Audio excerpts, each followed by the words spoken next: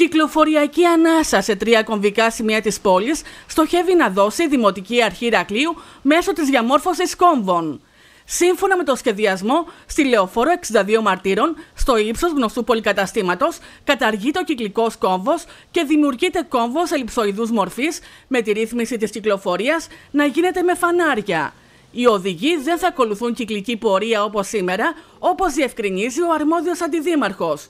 Στο Τζάμπο δεν έχουμε κυκλικό κόμβο, έχουμε ένα νεφροειδή κόμβο όπως ονομάζεται από τους μελετητές, ε, με κάποια σημεία ε, να, με επέκταση πεζοδρομίων, με ε, διαγραμμίσεις για, τη, για τους πεζούς ε, και κάποιες εσοχές για να μπορούν να εξυπηρετούνται τα λεωφορεία της περιοχής. Εδώ βλέπουμε κυκλικούς κόμβους για να βολεύει την κυκλοφορία, όχι τετράγωνους. Τώρα ο κόμβος θα είναι νεφροειδής. Πρώτη φορά τα ακούω αυτό το πράγμα. Να μας εξηγήσει κάποιος τι είναι αυτό και πώς θα λειτουργήσει να καταλάβουμε πρώτα. Όποιος μπαίνεις σε αυτό το κόμβο θα πηγαίνει όλο ευθεία και δεν θα στρίβει ούτε αριστερά ούτε δεξιά. Δεν πώς θα πηγαίνω, αν θέλω να πάω αριστερά ή δεξιά πώς θα πηγαίνω; Οπωσδήποτε να γίνει κάτι. Είναι δυνατόν να μας αφήσουν έτσι, μας έχουν εντελώς ξεχάσει. Ε, δεν θα, δε, εμείς δεν ζούμε, θα έχουμε φύγει να το, το γίνουν αυτά.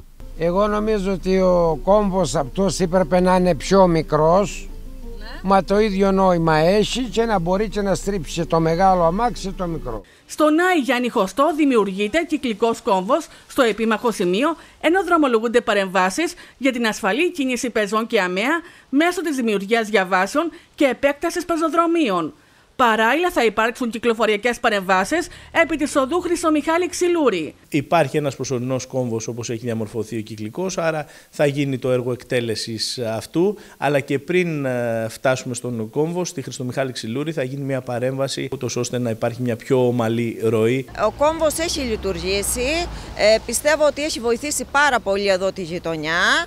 Απλά το παράπονο μας είναι ότι τον έχουν αφήσει έτσι που τον έχουν αφήσει. Οι διαγραμμίσεις κάτω έχουν εξαφανιστεί δεν μπορούμε να περάσουμε ε, πάμε απέναντι. Ο κόμβος λειτουργήσε πάρα πολύ καλά, το θέμα είναι ότι δεν έχει τελειοποιηθεί. Τώρα και δύο χρόνια ακούμε ότι θα τελειοποιηθεί. Αν γίνει μόνιμος, καλύτερα πιστεύω εγώ ότι θα είναι. Πιστεύω να είναι για καλύτερο. Πιστεύω. Εδώ είναι πολύ επικίνδυνο ο πεζός να περάσει απέναντι. Ναι, και να περπατάει. Γιατί δεν υπάρχουν το πεζοδρόμιο ή τίποτα.